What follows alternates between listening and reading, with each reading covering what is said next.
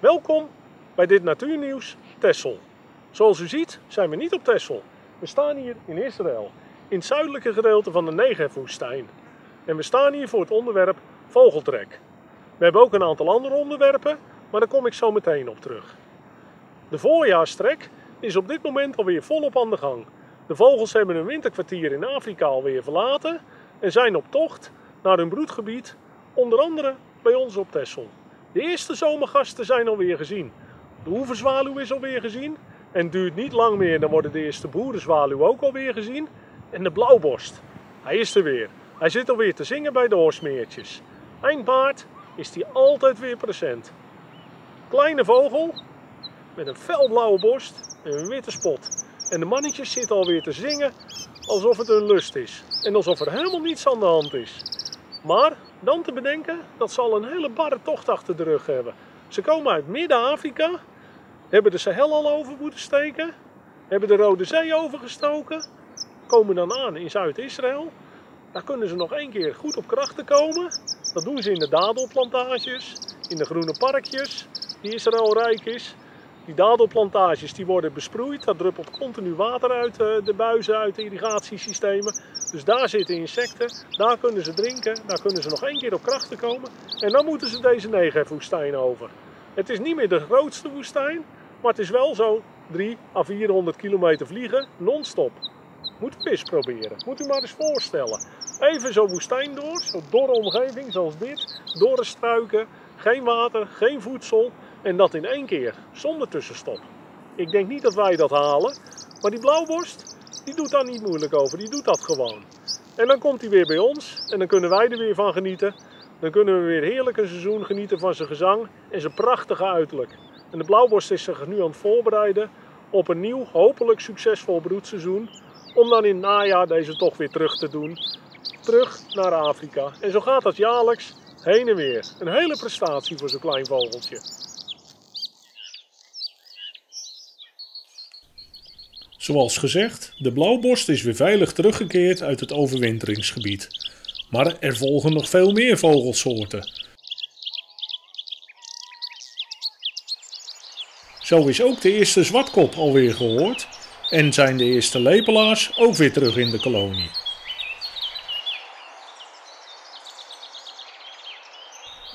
De lepelaars van de schorren kunt u dit broedseizoen volgen via de webcam. Natuurmonumenten heeft samen met Vogelbescherming Nederland een webcam op de schorren geplaatst, vlakbij de kolonie. Via de website www.beleefdelente.nl kunt u de lepelaars dus prachtig volgen. De eerste lepelaars zijn half maart al in de kolonie teruggekeerd, dus dat wordt weer spannend. Nou, we staan hier op eh, de Schorren. Dat is een buitendijks kweldergebied eh, van natuurmonumenten op Texel. En we zijn bezig met het plaatsen van, uh, van een webcam. En dat doen we samen met Vogelbescherming. Uh, nou ja, waarom per se op deze plek? Uh, er zit hier al sinds de jaren 80 een lepelaarkolonie. Het is een hele veilige plek voor hen. Het is het hoogste gedeelte op de schorren. En ze komen dus elk jaar weer terug. We hebben zelfs een topjaar gehad van 141 paar. Maar meestal is het zo rond de 80, 90 paar lepelaars. De lepelaars komen nu net weer aan. Ze komen helemaal uit Mauritanië. Vorige week waren de, de eerste er. En uh, we zijn dus precies op tijd om nou uh, het, met het plaatsen van, van de webcam. En we zetten hem eerst op afstand neer. En dan gaan we trapsgewijs gaan we steeds de webcam iets dichterbij zetten. Zo hebben we dat voorgaande jaren ook al een keer gedaan. En dat werkt hartstikke goed.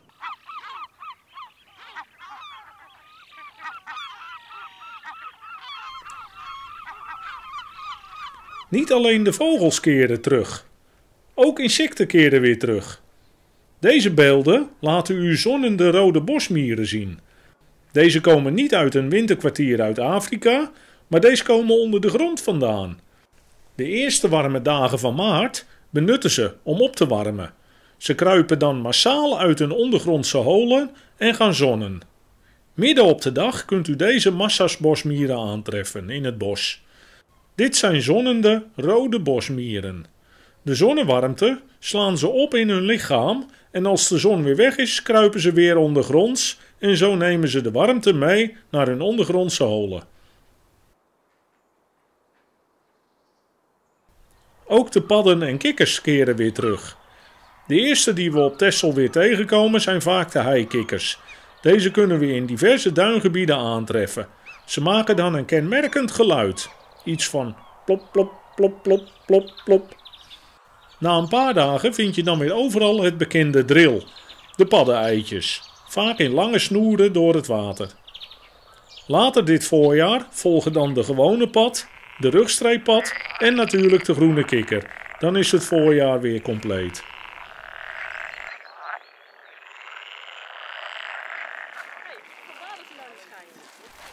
Om het voorjaar goed te beginnen heeft Staatsbosbeheer in maart een opruimactie gehouden in de Slufter.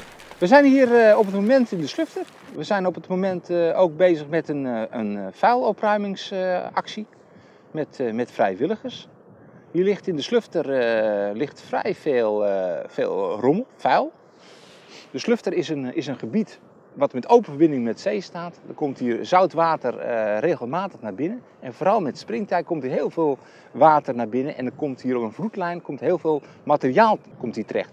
Dat is uh, zwerfvuil, wat op zee overboord is of wat dan ook. Komt hier dan in die vloedlijnen terecht. Er ligt gigantisch veel uh, plastic dopjes, allerlei plastic materialen. Daar hebben we een, één keer per jaar een, een groep mensen die zich vrijwillig uh, opgeven om hier te komen helpen.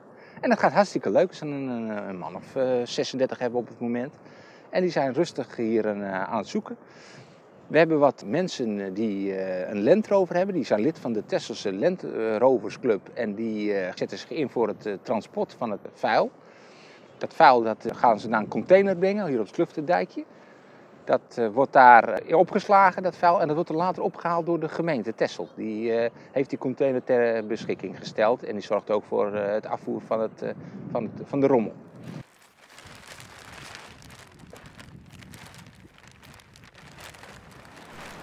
Bij paal 28 is de zandsuppletie afgerond.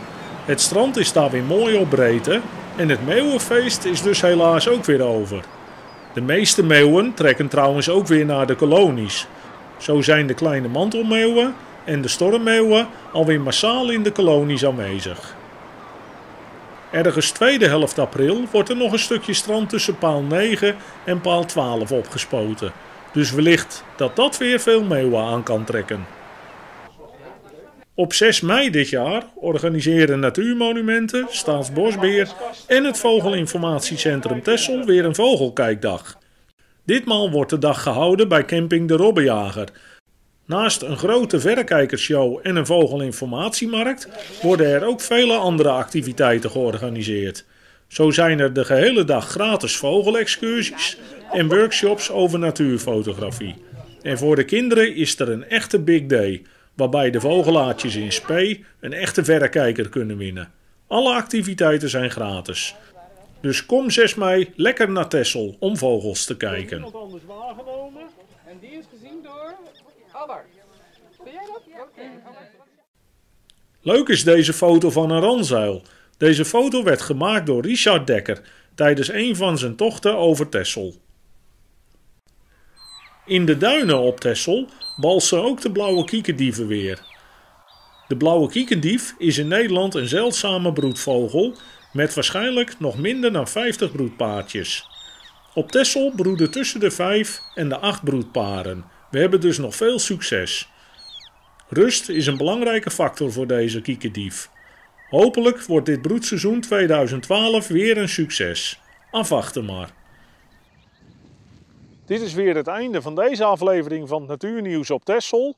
Ook deze aflevering werd weer mogelijk gemaakt door de VVV op Tessel, Natuurmonumenten en het Vogelinformatiecentrum Tessel. Ik loop hier nu lekker in de zon op het veld bij de Robbenjager. En hier is het waar op 6 mei aanstaande de Vogelkijkdag georganiseerd wordt. Op dit veld zal een heuse vogelinformatiemarkt verschijnen, waar u alle informatie over vogels kijken kunt krijgen. Er staan diverse verrekijkermerken met de grootste verrekijker en telescopenshow van Nederland. Staatsbosbeheer, natuurmonumenten en het Vogelinformatiecentrum zullen aanwezig zijn. En diverse stands met informatie over vogels kijken. In het restaurant de Rubberjager achter me, daar worden workshops georganiseerd over vogelfotografie en over fotograferen door een telescoop. En wilt u zelf vogels gaan kijken?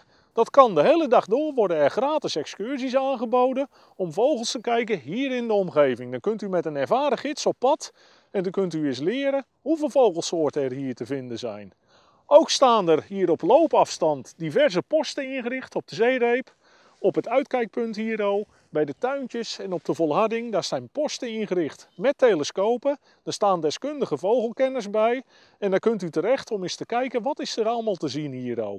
En als klap op de vuurpijlen organiseren we twee keer per dag een kinderbig day. Dat houdt in dat de kinderen op pad gaan met een verrekijker en een streeplijst. En die gaan een uurtje vogels kijken. En degene die de meeste soorten ontdekt, die kan een verrekijker verdienen. Beschikbaar gesteld door het Vogelinformatiecentrum. Dus 6 mei, kom naar Tessel, kom naar de Vogelkijkdag van 10 tot 5. Wilt u meer informatie? Die kunt u vinden op www.vogelinformatiecentrum.nl. Ik zie u graag terug op 6 mei.